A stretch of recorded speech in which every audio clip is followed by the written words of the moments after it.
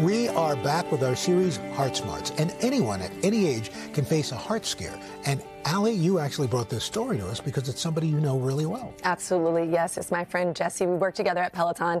And last year, at the age of 35, Jessie went through a scary experience that changed her life. Here's her story in her own words. My name is Jessie Malone. As a busy New Yorker, I'm constantly juggling early mornings for my job as a Peloton producer with my social calendar. One day in May of 2023, I was feeling nauseated, but I felt well enough to bike home like I normally would.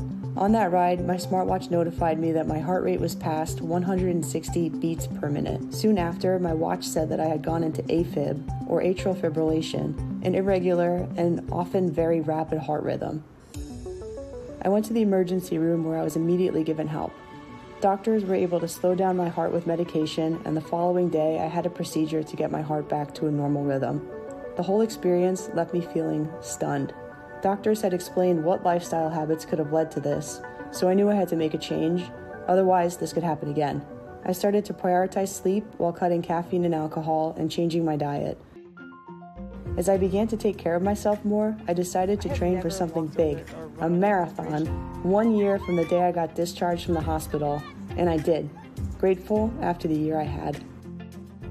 Oh my God. Wow. What a story. Jessie. Yes, and joining us now is my friend Jessie Malone, along with Dr. Marc Miller, a cardiac electrophysiologist at the Mount Sinai Hospital. Good morning to you both, and thank you so much for being here. Of course. Good morning. Thank you. Um, you know, for my friends here and the folks that are watching, you and I get to talk every day, but for them, you know, how's your heart today and how's your health? I'm doing great now. Thank goodness. It's been it was a crazy year, um, but got myself back in shape and I'm feeling great. Yeah. Jessie, the marathon was the curveball that I don't think any of us uh, Right. expected in this story. Right. Can, can you share a little bit with us about what your life um, and your lifestyle looked like before all of this happened and then what it looks like now? Yeah, sure. I mean, early mornings, 5 a.m., just completely unprepared for the day.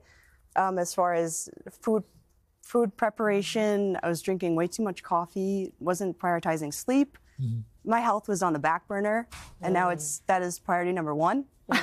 I'm doing food prep on Sundays, um, exercising even before work, like 3:30 in the morning. Less like, coffee? Running. Wow. Less, uh, no coffee at all. I Wow. cut, All right. Yeah, I cut caffeine. I cut alcohol. Mm-hmm. Anything that could possibly bring this back. I was like, it's out. Yeah. Like this is about my life and health and. That's Yeah. terrific. Uh, you know, we share something in common. I had, I had a, uh health issue about a year and a half ago, and it, uh, I first noticed it because walking up the stairs, my my watch said I was 160 beats per minute. So, doc- yeah, gosh. yeah, same kind of thing. I called my doctor and, and you know was able to do, take care of this. But, but Dr. Miller, while you didn't treat Jessie, uh, uh, for viewers who are wondering and watching, what are the symptoms and and risk factors for AFib? So the symptoms of atrial fibrillation are palpitation, shortness of breath, decrease in exercise tolerance, fatigue, decrease in cognition. Um, sometimes fainting episodes can occur if the heart rate's too fast or too slow. And the common risk factors are advancing age, hypertension, diabetes, obesity, excess alcohol intake, excess caffeine intake, and even psychosocial stressors. Uh, Je- Jessie just mentioned the changes that she made in her life, cutting out coffee altogether. It's quite the feat, by the way. And so many other changes. Doc, is, is, is that the best way to prevent recurrence, just changing lifestyle habits? Yeah, I think there's definitely modifiable risk factors, such as weight loss is probably the most important, um, and exercise regimens. Like moderate exercise regimens can decrease your risk of developing AFib by 20%. So if five people, for example, were to undergo an exercise regimen over the course of six months, you'd prevent AFib in about one person. Wow, that's incredible. Now, Jessie, for you, I know one of your mantras is if you want your life to change, you have to change your life. And that's Right. something that you've been living every single day. I'm a witness to that. You come into the locker room, we have conversations about how you've already worked out or you're going to work out after work. You've also dived really deep into nutrition, getting certified as a nutritionist, and the New York Marathon is on the horizon for Yes. you, another marathon. Mm-hmm. How are you dealing with the changes, the active changes that you have you are pursuing? How are you experiencing them?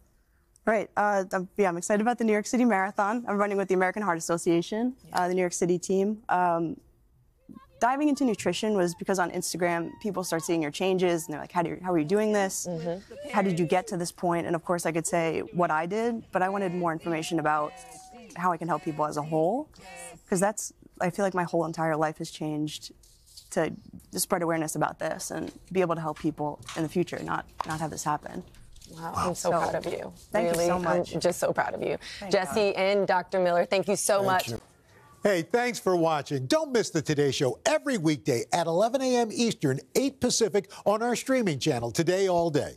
To watch, head to today.com slash all day or click the link right here.